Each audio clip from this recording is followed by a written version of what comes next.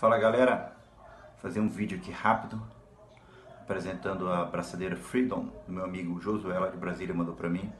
Uma braçadeira feita com uma liga elástica, ela não tem parafuso.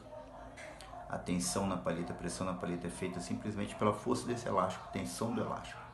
Então a palheta vibra bem solta, bem legal, tem uma excelente vibração a palheta, não fica presa. É, deixa a tocada também bem flexível. Achei bem legal. Parabéns, irmão. Sucesso. Tamo junto.